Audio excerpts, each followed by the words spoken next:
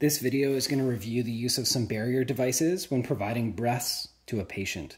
So we may provide ventilations, especially at more of the advanced level in CPR. So once you do a level C CPR or a basic life support course, we'll add ventilations to the compression aspect of CPR. We may also do ventilations alone if we're positive the patient has a pulse and we're dealing with a patient in a respiratory arrest.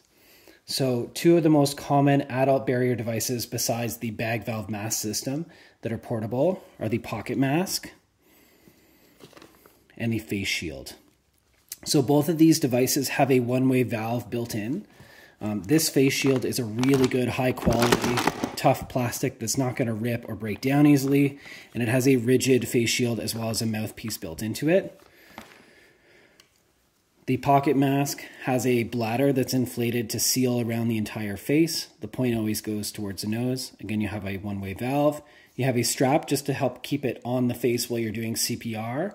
And then this port here is to add oxygen if the patient recovers, and we're adding oxygen to the mask uh, with ventilations. You can use it there. Okay, so we'll go through the, the two systems and how to use them.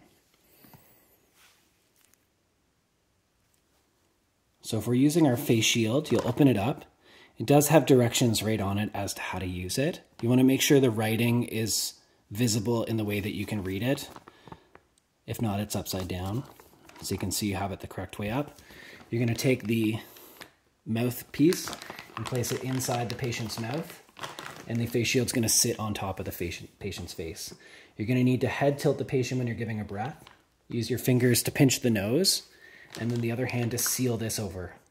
And what you want to see when you're giving that breath is you want to see that chest actually rise. So we're giving the breath.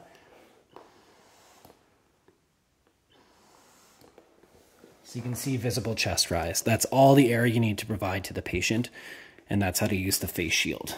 If the patient vomits, you can remove the shield, roll the patient, clear the vomit, and continue as needed. If this is still clear, then you can continue to reuse the face shield.